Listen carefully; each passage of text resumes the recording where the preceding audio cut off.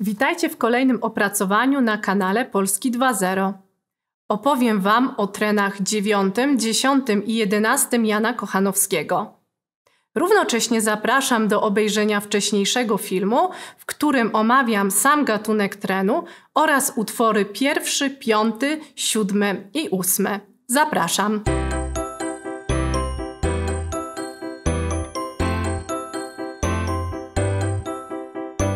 O trenie dziewiątym zwykło się mówić, iż jest on świadectwem kryzysu filozoficznego poety. Podmiot liryczny zwraca się w utworze do mądrości, rozumianej jako postawa stoicka.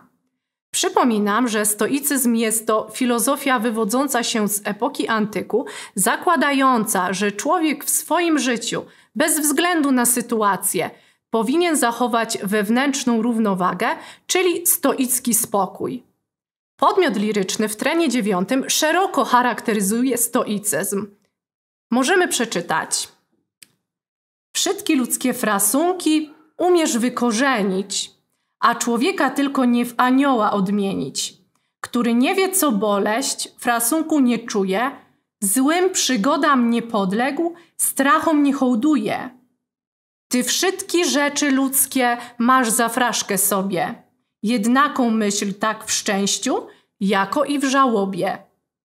Ty śmierci na mniej się nie boisz, bezpieczną, nieodmienną, niepożytą stoisz. Bardzo ważne jest to, że podmiot liryczny wątpi w postawę stoicką.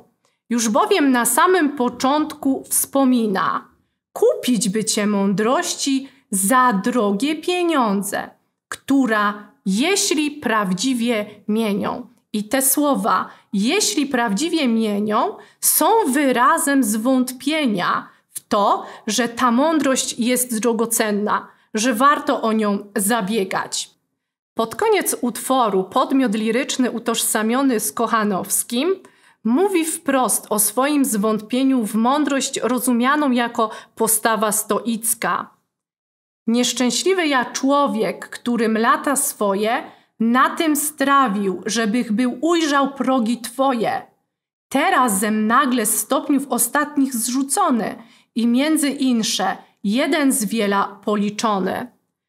To wyznanie sugeruje nam, że podmiot liryczny, Jan Kochanowski, całe życie dążył do tego, aby żyć według zasad stoicyzmu – Niestety w obliczu śmierci Urszuli nie był on w stanie wypełniać zasad tej filozofii. Czuje się, jakby musiał zaczynać od nowa. Był już na samej górze schodów, teraz jest między insze, jeden z wiela policzony. Trend dziesiąty to kryzys o charakterze religijnym. W tym utworze podmiot liryczny zwraca się bezpośrednio do Urszuli. Problemem, który go nurtuje, jest kwestia tego, co stało się z Urszulą po śmierci. Właściwie cały utwór składa się z pytań retorycznych zadawanych Urszuli. Pytania te nawiązują do różnych obrządków religijnych, do różnych wierzeń, mitów, mówiących o tym, jaki jest los człowieka po śmierci. Osoba mówiąca w wierszu nawiązuje między innymi do mitologii greckiej, pytając: Czyliś na szczęśliwe wyspy zaprowadzona?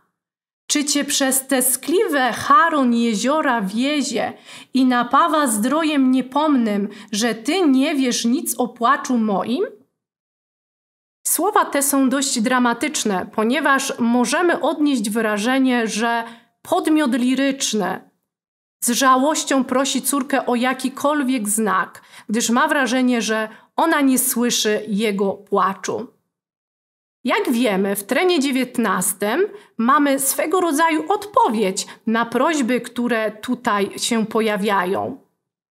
Janowi Kochanowskiemu we śnie pojawia się matka z Urszulą na rękach i mówi: Urszula żywie, nie bój się, Janie, Urszula żywie.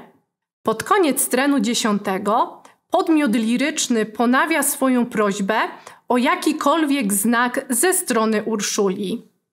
Gdzieśkolwiek jest, jest liś jest, lituj mej żałości, a nie możesz li w onej dawnej swej całości, Pociesz mnie jako możesz, a staw się przede mną, lubo snem, lubo cieniem, lub marą nikczemną. Tren jedenasty, czyli trzeci z utworów lamentacyjnych, jest z kolei świadectwem kryzysu światopoglądowego.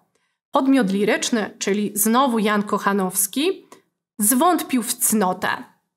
Fraszka cnota, powiedział Brutus porażony. Fraszka, kto się przypatrzy, fraszka z każdej strony. Tymi słowami rozpoczyna się właśnie tren jedenasty.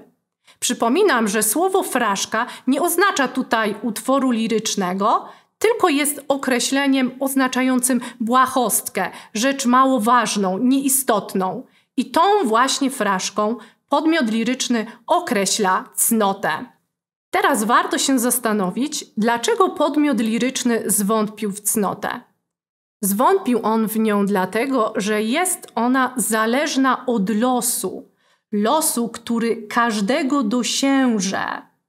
Ten okrutny los jest nieznajomym wrogiem, który miesza ludzkie rzeczy i bez względu na to, czy człowiek jest dobry czy zły, pobożny czy niepobożny, los dosięga go zawsze. Końcowa część trenu jedenastego jest apogeum żałości Jana Kochanowskiego. Zwraca się on bezpośrednio do owej żałości, sugerując, że odbiera mu ona pociechę i baczenie. Dziękuję za obejrzenie dzisiejszego odcinka. Zapraszam także na facebookowy profil Polski 2.0, gdzie możecie znaleźć notatki do omawianych zagadnień. Jeśli podobało Wam się opracowanie, zapraszam do subskrybowania kanału. Do zobaczenia!